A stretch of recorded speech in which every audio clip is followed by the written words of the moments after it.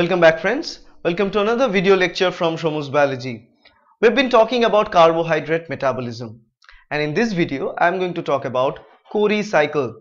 I already posted video on Cori cycle couple of years earlier but this time with some animated material. Now the thing about Cori cycle if you want to hear the first question that what is it and why Cori cycle is important. Now normally to understand Cori cycle you need to know a simple idea in our body about metabolism and that idea is uh, the process of cellular respiration or cellular metabolism uh, both in terms of in presence of oxygen and absence of oxygen. So if there is plenty of oxygen in our body our body will undergo the oxygen or aerobic mode of cellular respiration. So let me write it in terms of oxygen. So if there is oxygen present and let's say oxygen absent. So if oxygen is present uh, the body undergoes the aerobic aerobic aerobic mode of respiration. In oxygen is absent anaerobic mode of respiration. So when the oxygen is present through aerobic mode of respiration, our body usually take let's say glucose molecules at the beginning and glucose is converted to pyruvate in glycolysis. Then this pyruvate is further converted through TCA cycle and then pyruvate dehydrogenase complex uh, it will make acetyl CoA then it enters the TCA cycle and then it will ultimately produce NADH FADH2 at the end of TCA cycle which will be useful for production of ATP which is the energy source of our body. This is the aerobic mode of respiration. But if you look the anaerobic mode of respiration that means when we need energy but we don't have oxygen around and this thing happens if we do intense exercises or let's say somebody is running for a while for long distances what happens is that normally there are two locations in our body which are very much involved with the process of energy production and metabolic processes especially the carbohydrate metabolism. And two such tissue one is the liver and second one is our muscles. Now the thing is while we are doing extensive exercise our muscle cells they're utilizing the glucose. They try to make energy out of it.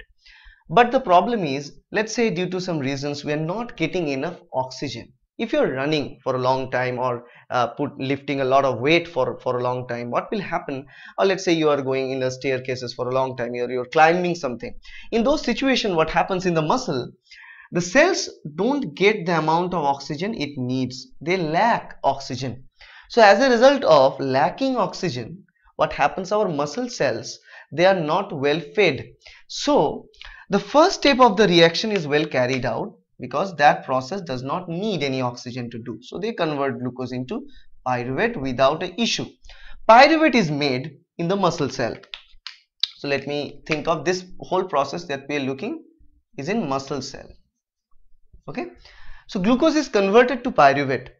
But the problem is pyruvate is not being converted to acetyl CoA or cannot be converted TCA cycle is prevented because there is no oxygen. Uh, the terminal electron acceptor is the oxygen so there is no terminal electron acceptor.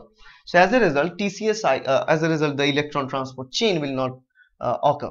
So as a result pyruvate is produced in the body. And not only pyruvate but as there is no oxygen there is an enzyme start working on pyruvate that is known as lactate dehydrogenase. Lactate dehydrogenase enzyme converts pyruvate into lactic acid or lactate. Lactic acid once start to build up in the muscle cell is very very bad for our health because two things. One is that we are not producing any energy. That is the biggest thing actually. Because from glucose to pyruvate we have net gain of 2 ATP molecules. 2 ATP molecules are produced.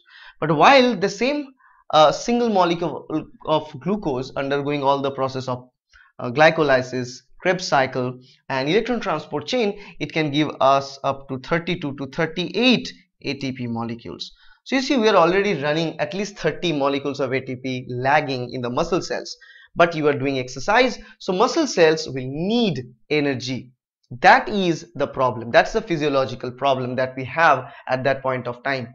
Now how to solve this? Because the muscle cells are filled with lactic acid and this is a dead end. We can't do anything about that. Or is it? To solve this, our body has a uh, has a secret process, another process to bypass the production of lactic acid. And not exactly to bypass the production of lactic acid, but uh, there is liver for rescuing our body once again in the metabolic pathway. So now let me draw the liver here. Let's say this is the liver. We have liver and the problem with liver here is the liver can, liver has enzyme and liver can convert this lactic acid into pyruvate again. Convert lactic acid into pyruvate. Back and then pyruvate into glucose. And once it produces glucose it can take the glucose into the bloodstream. Let's say this is the blood vessel and let's drag glucose into the bloodstream so we know liver can convert lactic acid to pyruvate and then pyruvate to finally glucose so what we can do here is simply one simple job of taking this lactic acid into the blood and then through the bloodstream taking it into the liver.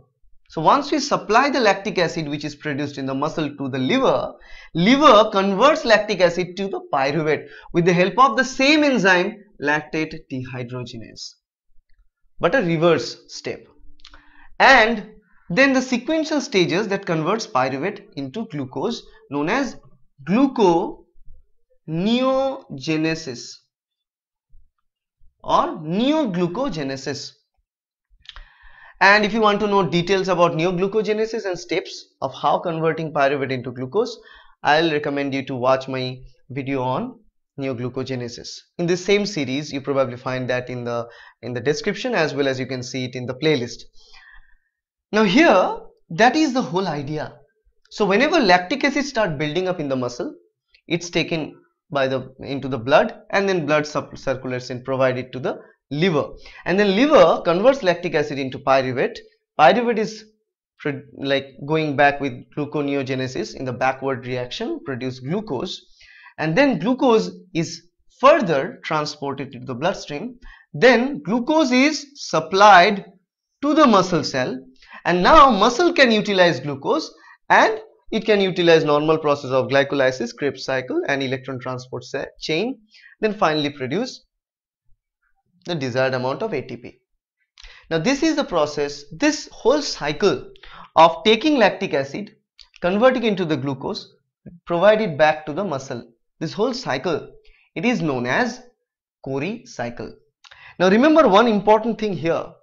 For the process of production of glucose to pyruvate that's a simple process it takes only 2 ATP but growing from pyruvate to glucose it consumes let's say normally from one glucose there are two pyruvate molecules produced. So if you go from two pyruvate to one glucose molecule production it actually consumes 6 ATP molecules.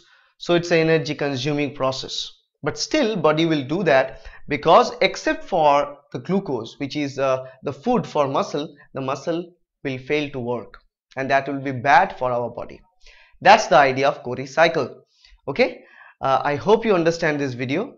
And also the second part of the video I also have I'll tell you the sequential stages of this process as well. Uh, I'll recommend you to watch the second part of this video lecture where you'll see the actual sequential stages of the Cori cycle in details. Lactate is produced in muscle when ATP demand exceeds the capacity of the oxidative phosphorylation. An anaerobic production of ATP through glycolysis or glycogenolysis generates the end product which is lactic acid. The process of conversion of glucose into lactic acid is known as lactic acid fermentation. Now in Cori cycle, the lactate is transported from the muscle through the bloodstream to the liver where it can be converted back to the glucose.